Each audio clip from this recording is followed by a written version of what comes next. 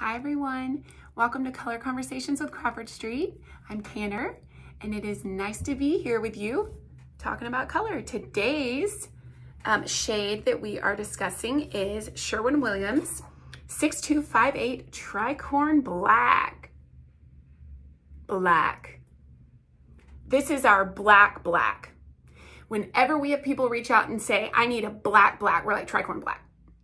It is the most true to black, deep, polished, crisp black that there is. No undertones, no mutedness, none of that. It is black, black. It is a beautiful black. Um, if you are trying to match black metal, um, which by nature is shinier than wall or wood cabinetry or whatever, um, then this, even if your metal um, is matte, the metal itself does not have the same texture and dimension as walls or wood.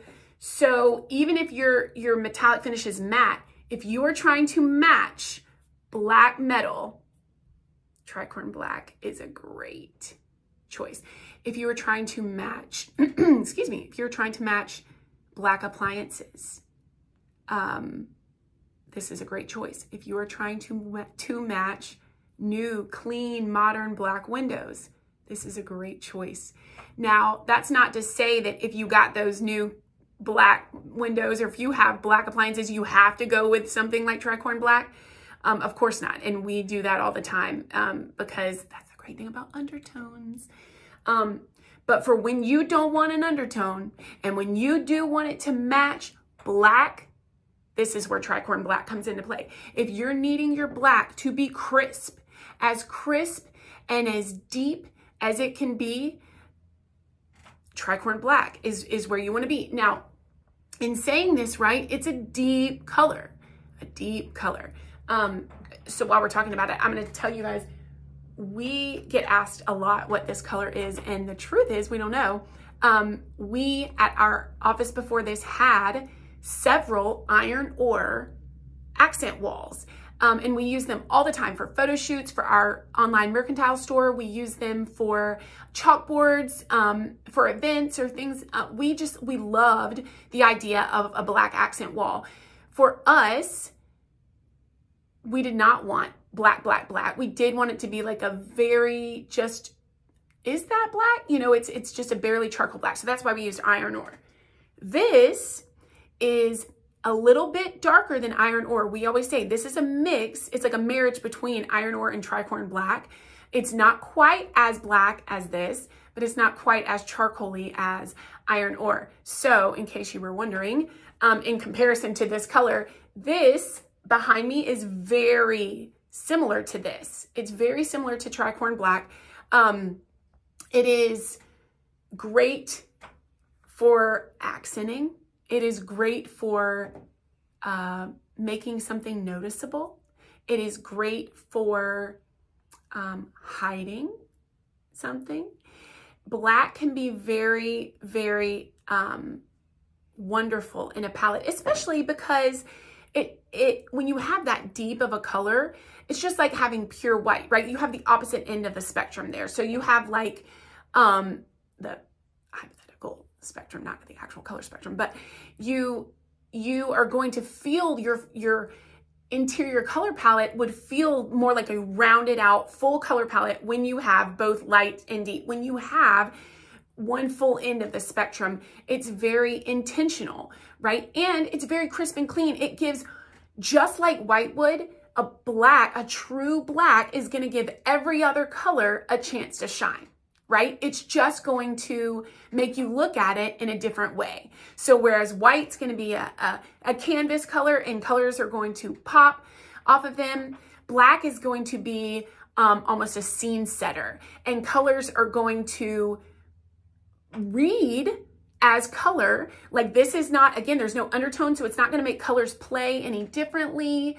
Um, it may calm some like very bold color down. Like if you put um, something very green with it, it would probably calm it down. Um, then, you know, but, but black is going to, like I said, set the scene. It's going to give your colors a stage to be on. Um, but whereas white is just kind of like, don't see me, see my colors. Black is look at these colors, but notice that I'm here too. So black, you have to be very intentional with black. And that's why we always tell people, um, just like we're gonna tell you how much we love a color, we're gonna tell you uh, when it won't work. So, you know, if you are not intending for it to be black, black, don't use this. If you have a roof and you really want it to be similar to your roof, but your roof actually has a multi-tonal, like three, you know, color, tricolor effect or whatever, um, then you're probably going to want a black with an undertone that will pull into that roof. But if you, like I said, if you are just wanting this black to be nothing but contrast, you need to add linear contrast somewhere. That's a great place for gutters and window grids. Great for metal roofing, little ones over porticos and stuff. Um, great for front doors. Again, if it's metal, like gutters and garage doors, black looks really good on metal. Um, but remember, I'm just saying, you know, going to keep going back to this. This is black, black, black, black.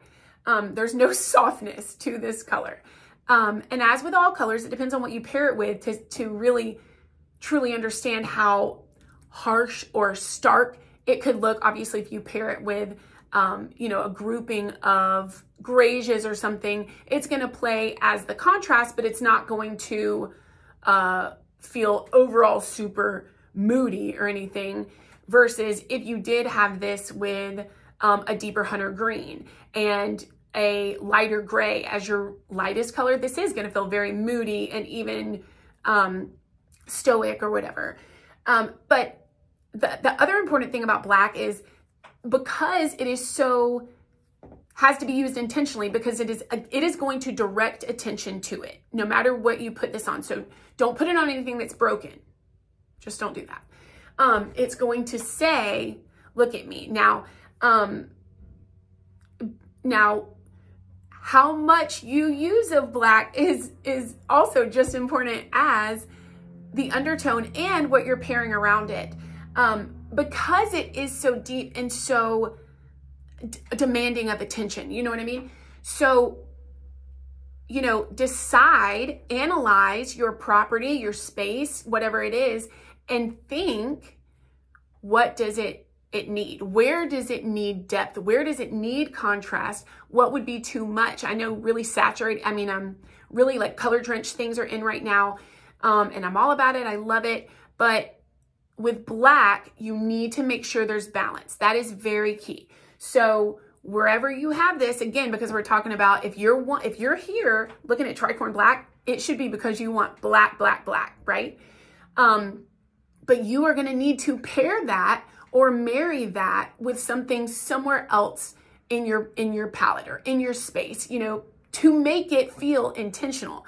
Otherwise, it just feels out of place and like, whoops, that black thing came out of nowhere um, or that black component seems like it doesn't really go. It can be small. If it's the exterior, your gutters can be black and just, you can have potted plants, you know, containers in the front that can be black.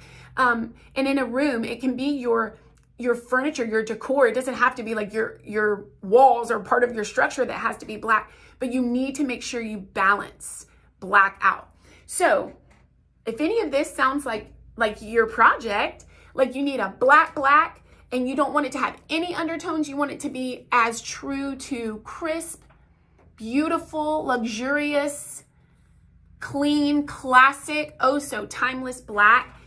Start with tricorn black. Um, and, and see how it feels. And then once you've, you know, finalized that this is the color that you like, be intentional about where you put it and how much of it you put and where you put it and if it has texture or not and how you're going to partner with it. Um, and as always, if you need help with any of those parts, reach out and um, we'd be glad to help you. Our information is in the description. You can follow us here. You can subscribe for more color conversations. I hope you do. Um, and we'll see you guys next time. Bye.